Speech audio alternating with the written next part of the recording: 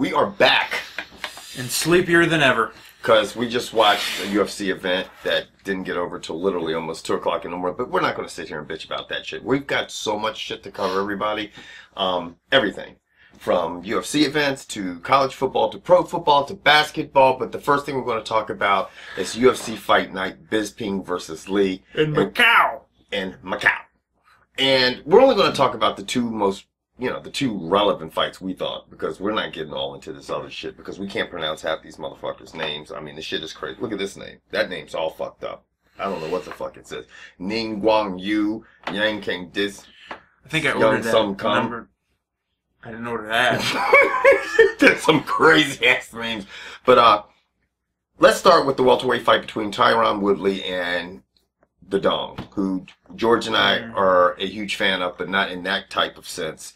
But came uh, the came Dong out comes hard. aggressive and just missed on a spinning back fist, and Tyron Woodley just crushed him. He crushed him. And, And the then Dong went limp. Yeah. He obviously didn't have Cialis or Viagra. And before this, last time we saw Tyron Woodley, he was trying to, to crack his way into the, the title hunt at Right. his at welter. What's it? Welterweight. It's a welterweight. And, uh, Rory MacDonald destroyed him. yeah. But I mean, he showed why he's coming along. But we obviously know he's going to have matchup issues with bigger, longer guys. Yeah, and that's the thing, man. It's like, you know, George and I talk about this all the time. You get these guys, these, I don't know if you want to call them second tier guys. They're, they're all incredible fighters, but they go through everybody. But when they have the chance to really go to that elite level or to the top five of their class, they always fall short. You know, I mean, you see a little bit sometimes with Jim Miller in the lightweight class. We saw it with dude who was running second fiddle behind GSP for all those years. Jon uh, Fitch. Jon Fitch. They just, they just can't get it done. And, you know, these classes are deep now. And speaking of guys who just kind of don't get it done, there's Mhm. a guy at middleweight who's been in the UFC forever, has never had a title shot, and this is part of the reason why. Bisping faced Cung Le, Mhm. beat the dog piss. I mean, beat the dog piss out of the little Kung treasure Lee's troll. face was fuck. Seriously, look at a treasure troll and look at Cung Le and get back to me. Right. Go ahead, look it up. He does look like a treasure troll. He looks like a everybody. treasure troll. He's got the spiky. That can hair. fight. I mean, and will fuck George up and me up, both of us up. But well, the he's only trying- thing he's gonna fuck up now is those movie scripts because he should stop fighting. yeah, he's done. Yeah, I mean, just he got nothing left to prove. yeah, I mean, and he gets to a certain point where you know you're going on your reputation and stuff. But man, th- there's just such a new breed of fighter coming up that i- i- if you're not getting better every year, if your game is just staying the same, you, you're going backwards. You know. And and that pretty much summed it up for uh Bisping ended that in the fourth round. So he went into Macau and did exactly what he said he was going to do. And that led us into tonight's event Right. for us here in the States, which, was I mean, for some of us, it feels like it's tomorrow. Yeah. It, it, I mean, it, it was it was long, and it was not that it was so uneventful, but you know, the thing that we're going to talk about, eh, eh, I think George is going to agree with me, is that these cards are so diluted now. You know, Efo And- brought that shit yeah. up. Efo, he's here and he's in town. You know, and uh, I mean, you can't do anything but dilute your talent pool and dilute what we're. I mean, yeah, I understand it was free. The other one's on Fight Pass. That's ten dollars. Yeah, we're getting lots of content, but that doesn't mean it's good. Yeah, It just doesn't. I mean, I don't. Uh, you know, it's I, and I and you know what? It is. It's not. I know there's going to be some people out there that say, "Well, Kevin and George."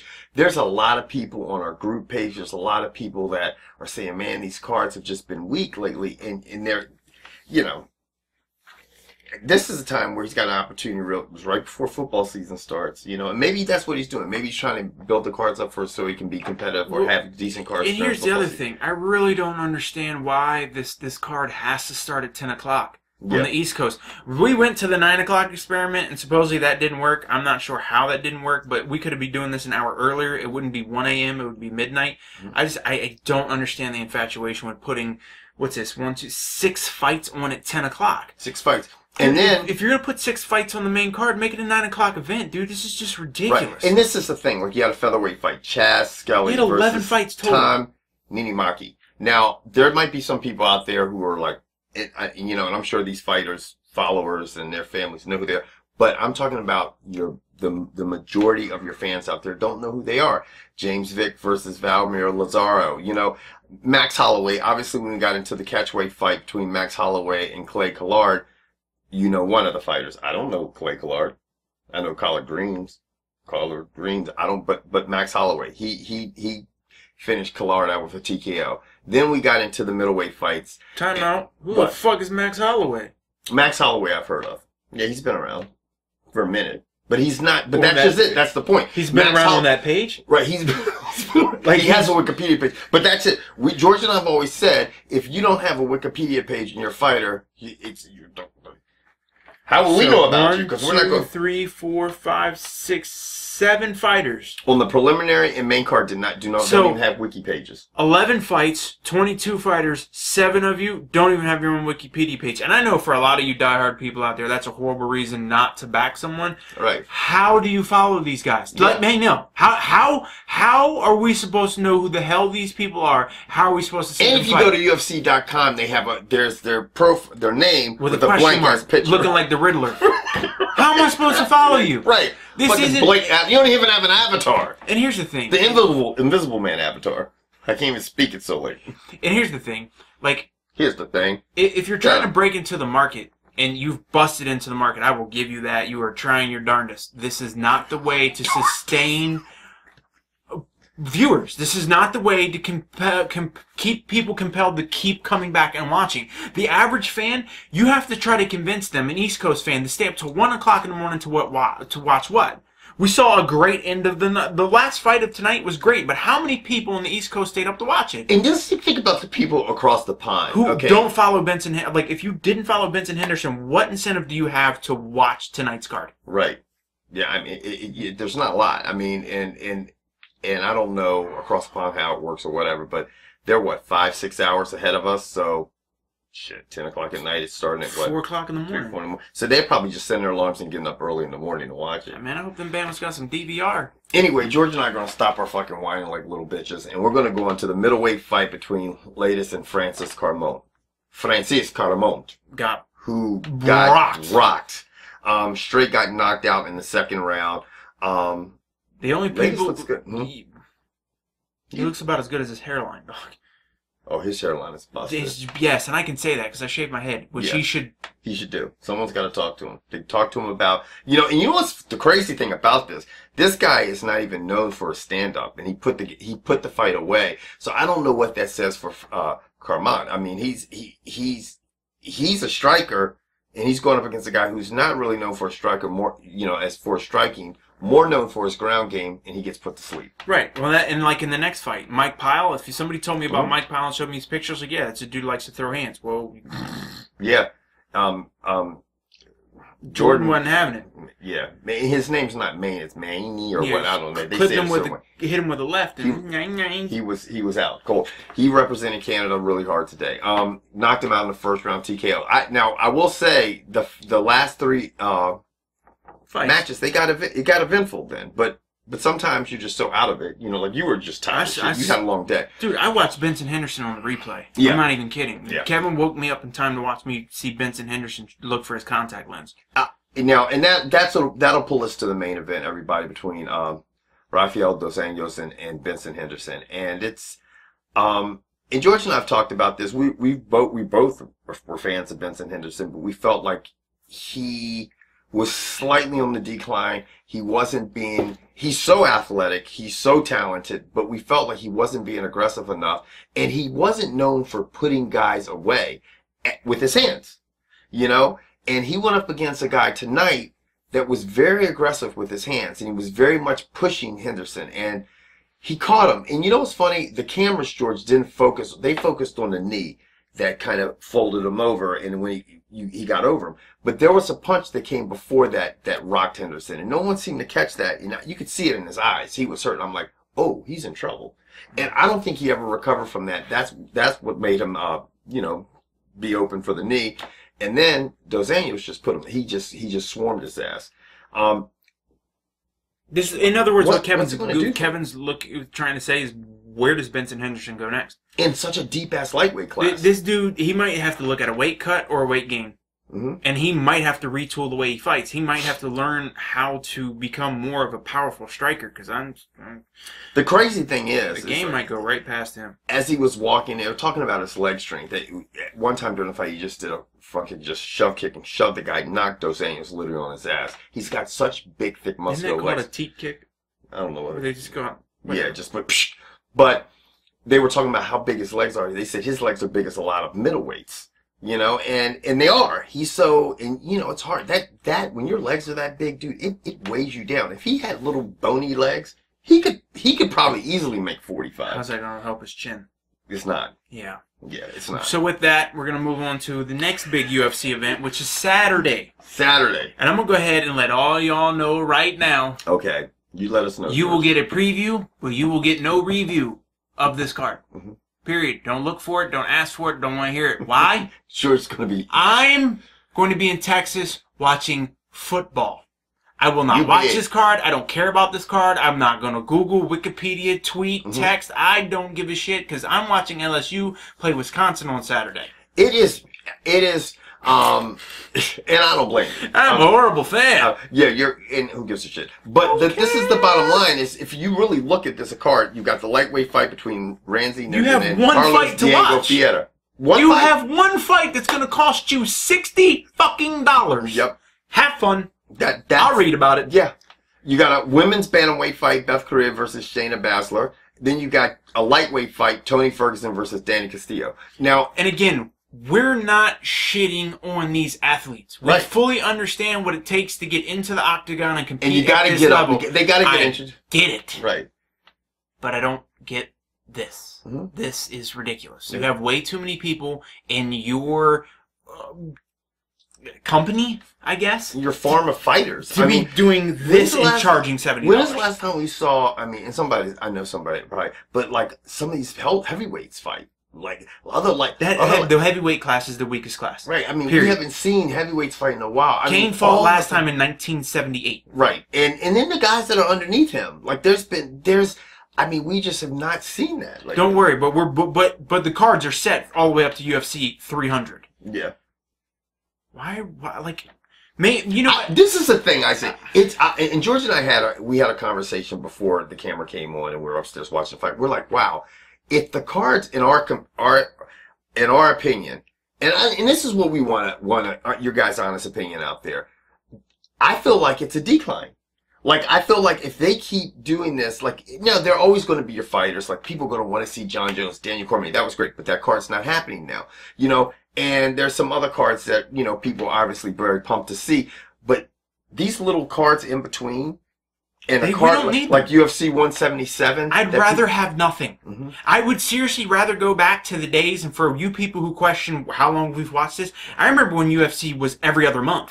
Right. I remember when UFC was once once a month. Yeah. And before that, I remember when it was run to the blockbuster and hope you get it on VHS. hmm I mean, that's I'd rather go back to that than see this watered down product. Right. And that's, in my opinion, we as fans, and we should all have our own opinion, Mm-hmm. and maybe not. Maybe I'm the only one who sees it this way. Maybe you guys love this, and this is the way it should be. I think it's a watered down product. When you're running two events on the same day, and you're running what? was it? This is. I think August was the heaviest month. Like they have five or six events. Something just insane this month. Right. And maybe it's, it's Dana saying, okay, we're trying to get more worldwide exposure by having these events in different places and stuff. That's awesome. I, I, I get it. Mhm. But get rid of Fight Card and make that your event for the month and let's all tune in. Yeah.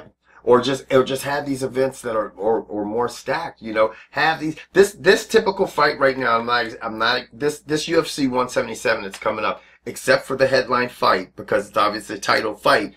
All the other fights would be a preliminary card. It'd be a preliminary card. Yeah. It, it, and Now- we're paying for that. Now, Kevin and I fully understand after we've thoroughly trashed this card, it'll probably be one of the best UFCs yeah, this year. it We get That's it. why we're doing That- it. that's what's gonna happen. That's why we're doing it. So we're helping you people out who are going to spend $60 on this by talking cash shit about the card. Because that's how the card becomes out. Because that if we don't spend sixty dollars on, then the card ends up being sensational. Everybody's happy, so we should talk it, and and we're guaranteeing you guys a good card. And with that said, we're going to talk about the one fight on this card we know about, which is the rematch between TJ Dillashaw and Henan Right. And and if you've seen the promos, mm-hmm. Joe Rogan is thoroughly, thoroughly. What's what's the word? Thoroughly. Con- thank you, mm-hmm. Jesus H. Mhm. Convinced that this is going to be the the most devastating, wonderful version of Henan Barao we've ever seen because this is what he's coming off his first loss in nine years. Mm-hmm. TJ Dillashaw prior to the first fight was like, I got something for him, and TJ Dillashaw seems like he's holding his stance, and he's going to continue to do. It's hard when when you look at that first fight. He he he owned him. And it's hard when a man owns your ass to come back in there and have something new. Because Dillashaw's like, I know you. You know? And I, like you've heard me say a lot of times on the show, very few fighters change. Yeah. They just, they just, you do what has always worked. And very few fighters change in such a short period of time. These guys didn't fight too long ago. You- It re- they really didn't. I mean, it was not very long ago. It wasn't like they're having a rematch a year later or a seven, eight, nine months later. You know what this smells a lot like? What? Frankie Edgar and Gray Maynard. It does. It does. has a reeking odor of like a nine fight series. Yeah. I'm knocking shit over. Don't worry about it. Damn. King Kong feet. Who you got winning? Huh? Who you got winning? Um, I think Dillashaw's going to do it again. I do too. I think Dillashaw, Dillashaw is going to win this, and then I don't know Brown. who Dillonshaw is. It's but I know Dillashaw's gonna Dillashaw's cousin. Right. Oh. Dillashaw. Right. Yeah, it's it's his cousin who's saying it's two o'clock in the morning. right. Eat ass, Tyrone. Now, Um. it is time, and I'm going to abruptly. Whoa, wait, no, no, time out, time What? out, time out. The one thing we do need to talk about Oh in the yeah, MMA we, do, world, yeah, we lost our mind. Kevin made a comment back there, and I'm sure one of you have already made a comment down there about it. Oh, the fight's still happening. Look, Right. just relax. What Kevin meant is the original scheduled date of the Cormier versus Jon Jones fight isn't happening Right. because Jon Jones hurt somehow. He hurt one of those little twig sticks that holds his body up. Mhm. But the fight did get moved to January. So the fight's still going on. Mhm. And that's what we need to talk about because it raised, it rose a big stink with a lot of you. Well, it should be Gustafsson's fight. No, stop.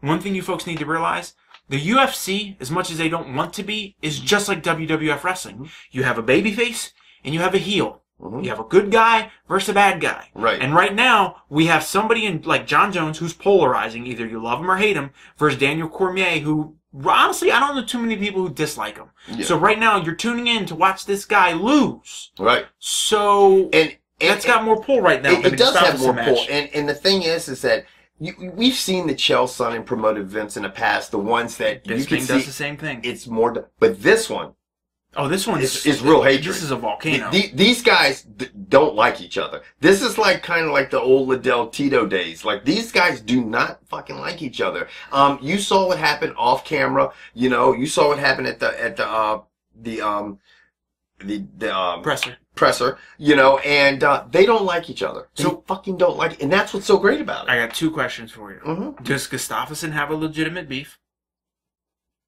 Um, he he he. You know what's funny? No, because I, this is why. If it was anybody else that that to me that Jon Jones was fighting, then I would say yes, he has a legitimate beef. But this is my opinion of it. Everybody, he is fighting Cormier that has never lost in the UFC. He's actually never lost an MMA fight. He won the Strikeforce bullshit, and then he came into the UFC and he beat everybody in the heavyweight class that he faced. Then he came down here and he's beat everybody, beat the good contenders and everything. So he's undefeated. He he he is more of a formidable opponent than Gustafsson was because Gustafsson had losses in the UFC. Daniel Cormier has yet to lose in the UFC or in his MMA career. He has sucked weight. He could be fighting for the heavyweight championship. If he fought his training partner, Cain Velasquez, no one would say he, he would rightfully so deserve a shot. Now, Jon Jones has faced everybody, including Gustafsson. He had his chance. Some people thought Gustafsson won the fight, but he didn't. You know, he didn't finish it, so he didn't win it in the judges' eyes. So, next guy to step up would be Cormier. I think it's a little legit, legit. I don't think he should. But even though Cormier is filling in for an injured Gustafsson, this wasn't Cormier's original fight. This was Gustafsson's original fight. Mhm. So I I understand Yeah, you know, why I didn't think- Gustafsson's yeah, I can see that, right? I, I do get that, Mhm. but Gustafsson doesn't have that genuine hatred, dislike for each other because there's a picture after the first Gustafsson and Jones fight of them in the hospital. Mhm. Let me tell you right now, when Cormier and Jones go to the hospital, they won't be taking family photos together. No. They won't be happy. Yeah. Like, no matter how this fight goes, it's not like it's going to change things between them. They legitimately don't like each other. They hate, they don't like each other. and I'm going to tell you what, right now, Dana is jerking his dick. Right, and that's why he's thinking, keeping oh my the fight alive. Right. He, he's, he doesn't have to, everybody he doesn't have to promote He doesn't shit. have to promote shit because you know everybody's posting shit on Facebook. Everybody's posting shit on Twitter. People are going on the internet looking to see what's going on between these two guys. and this is the type of card you get excited for. Right. This this card that's going to happen next week doesn't have that. Mm-hmm. And that's what I think is might potentially be the downfall of this sport. Something. The, you know what it is? It is is that with the fighters, when you don't know, I mean, everybody, we love watching the fights. So George and I love it. We've been watching the fights forever, for years. A lot of you guys, honestly, that watched the show before you probably, a lot of you guys were probably in elementary school. Some of you guys. Yeah. Oh, Now, this is the thing. When fighters have a history, even though they're not the best fighter, you know what I mean? If you know a little bit of history or if you know a little bit about this a fighter, backstory, a something. backstory or something, it makes the fight more interesting. It just does. It makes the fight more interesting. And a lot of these fights we're seeing now, they're, they're no-name guys. They don't have a lot of history, and, and obviously in time they will. But you're putting a bunch of no-name guys with no no history on a card together. versus no name guys. guys. And it's tough. It just it is. It's It- tough. and here's the other thing. The other the other thing is it's still a hard sport to follow. Look, I know these guys have come up and done their work in the, the minor leagues or the other things. There is no collegiate MMA. There is no uh, minor league system. You can watch it and watch a guy come all the way up. Now, I'm sure some of you, man, I watched him in my backyard beat up my cousin. That's awesome. Unless you stream that shit, I can't watch it. Yeah, no one's watching that. Like shit. so, how, my thing is again, I don't have shark fights. I don't have local MMA things. I don't have people to watch. I, there's no Right. Home Depot Cup where There I live, so There's a- there it's it's what we're getting at is it's tough. And when you put out cards like this, it doesn't make it any easier, and it doesn't make me want to spend sixty dollars to watch these guys. No. And that's unfair to the fighters because they need to get paid. That- yeah. But with that said, that's UFC. Jon Jones, Daniel Cormier. Kevin's going with Cormier. I'm going with I just want to see somebody leave on a stretcher match type thing. So that's where I stand. That that that's where we stand now.